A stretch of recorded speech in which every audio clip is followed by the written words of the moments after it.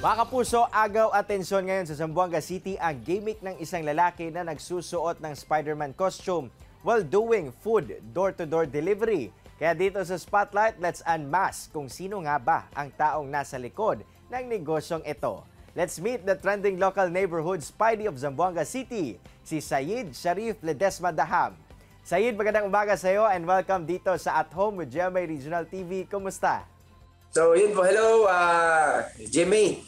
Yun po, this is your Spider Pau. Uh, the, uh, nag, uh, nag, uh, Andrea, unmask na po ako ngayon para at least uh, pakita ng mga tao kung sino nga ba talaga si Kuya Pao.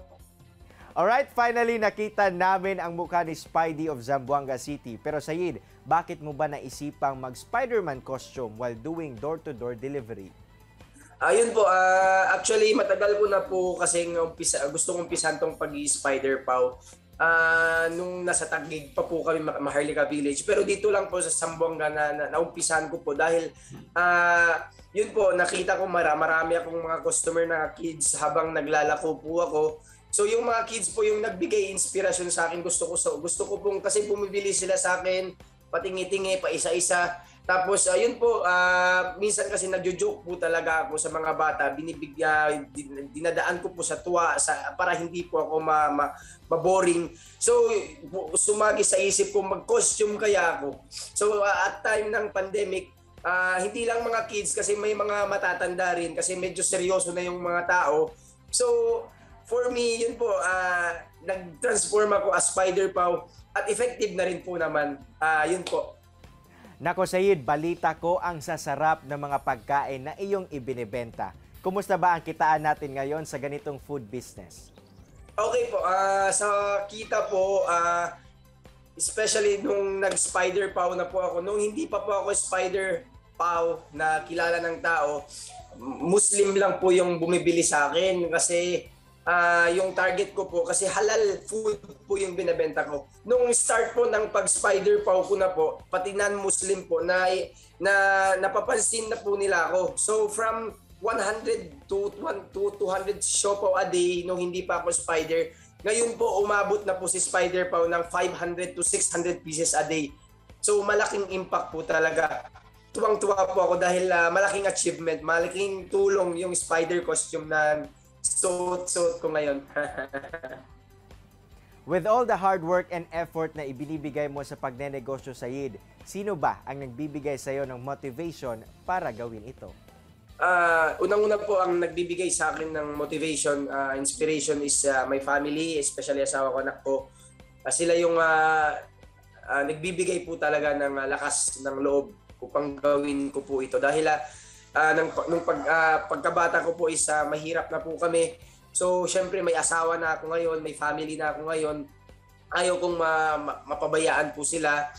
Tsaka, uh, yun po ako yung padre di pamilya. Kailangan ko po talagang magsikap, araw-araw bumangon para at least survive kami, especially in this time of pandemic. So, hindi ko na po iniisip kung ano yung uh, mga, at least yung sa amin, yung sa akin, uh, sinasabi ko sa sarili ko, marangal yung ginagawa ko, ika nga halal yung business na ginagawa ko.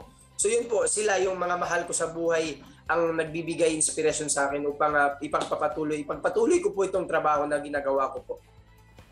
With all the good things na naririnig natin o nababasa natin sa social media sa iyong, sa iyong deskarte, minsan ba meron rin bang nang babash sa iyo sa social media dahil sa pagsusuot mo ng Spider-Man costume? Ano ang reaksyon mo rito? Uh, opo, hindi lang po minsan actually, maraming beses na po akong nabash. Uh, mas masakit yung bash sa personal kaysa sa kaysa sa uh, social media.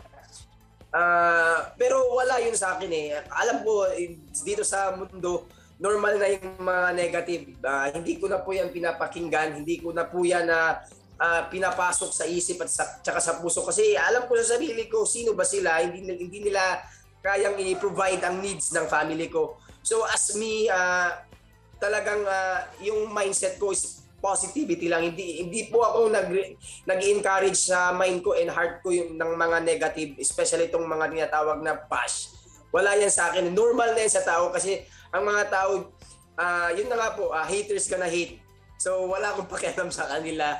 Basta sa akin, happy ako sa ginagawa ko tsaka nakakadala ako ng ah, halal food sa naiuwi ko sa family ko. May makain kami. Hindi na po ako nag, nagmamain sa mga basher. Yun po.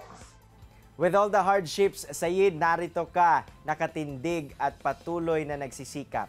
Kaya ano ba ang maipapayo mo sa mga gusto rin magnegosyo katulad sa ginagawa mo ngayon? Ah, yun po ah, sa mga gustong magnegosyo, sa mga gustong magumpisa ng magnegosyo, yun po wag kayong mag matakot mag-take ng risk. Ah, tapos piliin nyo kung ano yung ah, mahal nyo na trabaho. Dapat andun yung passion, andun yung ah, love. Kasi pag wala yung love, kahit isa ka pang profe- pro- professional, nasa aircon, de aircon ka, kung hindi mo mahal ang trabaho mo, talagang hindi ka magtatagal. E tulad ko, maglalako lang, spider paw lang. Dahil mahal ko ang trabaho ko, mahal ko magpatawa, magpa-happy ng mga kids, mga tao, eh tumagal ako sa negosyo na to. So yun po, pagka sa mga small business na gustong mag-umpisa pa lang, yun ang yung gusto kong maipayo sa inyo.